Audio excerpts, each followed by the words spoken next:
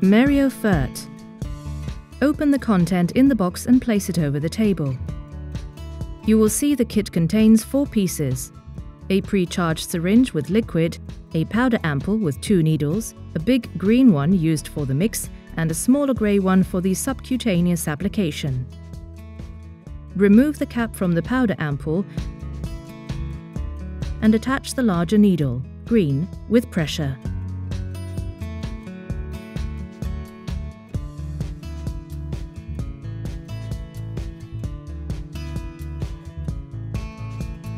Place the powder ampoule on the table.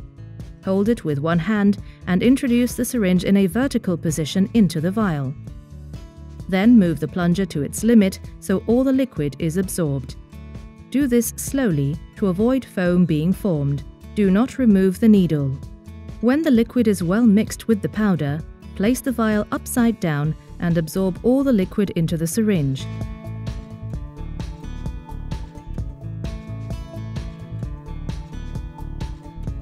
Remove the needle and replace it with the smaller grey one.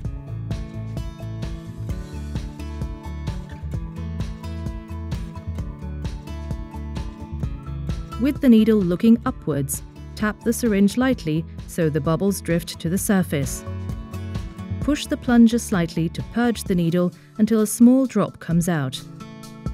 Everything is now ready for application. Clean the abdominal area with an alcohol wipe. Pinch the area you want to apply the medication with your hand, with the other take the syringe and pinch the needle in the skin in a perpendicular position. Squeeze the plunger until the end.